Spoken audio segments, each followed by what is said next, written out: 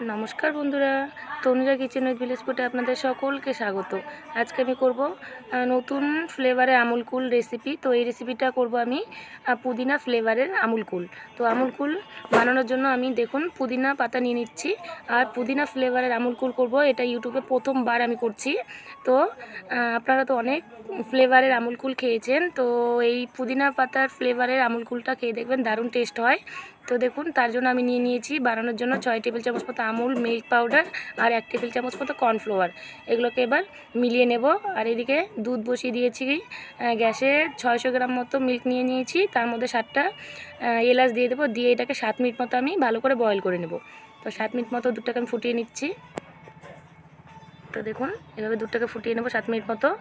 তারপরে এদিকে যে মিল্ক পাউডার আর কর্নফ্লোরটা নিচ্ছি, সেটা একটু উষ্ণ গরম দুধ দিয়ে আমি এটাকে ভালো করে মিলিয়ে নিব। একসাথে, তো এরকম করে মিলিয়ে নিচ্ছি।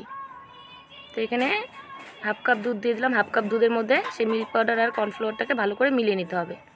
মিলিয়ে তারপরে দিতে হবে। তো এদিকে পুদিনা পাতাগুলো বেছে নিয়েছি, এগুলোকে ধুয়ে তারপরে বেটে পেস্ট করে নেব।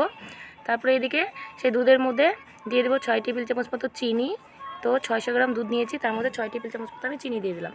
মিষ্টিটা খুব একটা বেশি কড়া দেওয়া যাবে না। মাপ মতো দিতে হবে। আপনারা আপনাদের পরিমাণ মতো মিষ্টিটা দেবেন। তো তারপরে এর মধ্যে দিয়ে দেবো। এবার সাত মিনিট মতো বয়েল করার পরে দিয়ে দেবো এর মধ্যে মিল্ক পাউডার আর কর্নফ্লাওয়ার যে মিক্স করে রেখেছিলাম সেটা।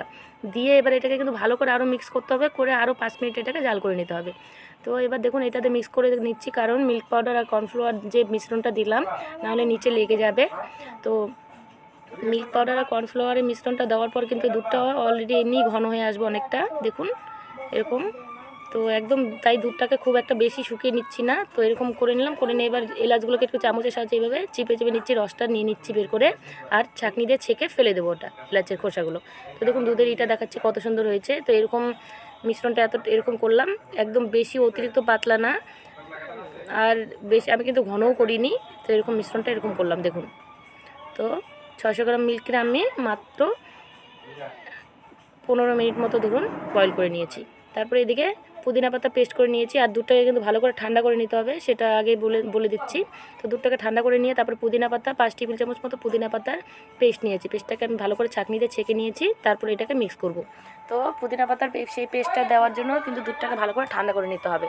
ঠান্ডা করে নিয়ে তারপরে দিতে হবে। তো প্রথমে দুধটাকে আমি ঠান্ডা করে নিলাম, তারপরে সেই পুদিনা পাতার পেস্টটা দিয়ে এবার এটাকে ভালো করে মিক্স করে নিচ্ছি।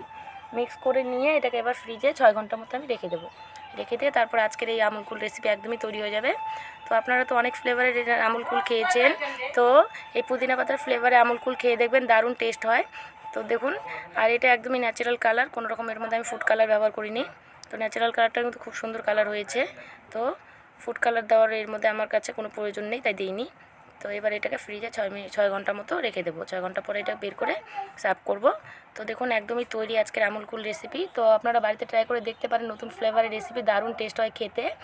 তো বন্ধুরা, আজকে ভিডিওটা যদি আপনাদের পছন্দ হয়ে থাকে, তাহলে ভিডিওটার একটা লাইক করবেন কমেন্ট করবেন, আর আমার চ্যানেলটাতে প্লিজ সাবস্ক্রাইব করবেন। আর এই রেসিপিটা আপনারা অবশ্যই একবার বাড়িতে ট্রাই করে দেখবেন, কারণ নতুন ফ্লেভারের আমুল কুল রেসিপি খেতে কিন্তু দারুণ টেস্টি হয়েছে। আপনারা না বানিয়ে খেলে বুঝবেন না এই স্বাদ কতটা টেস্ট হয়েছে। তো দেখুন, তো বন্ধুরা, আজকে আমি আসছি। আবার আপনার সাথে দেখাবেন নেক্সট কোনো ভিডিওতে। ততক্ষণের জন্য আপনারা সকলেই ভালো থাকবেন, সুস্থ থাকবেন। Thank you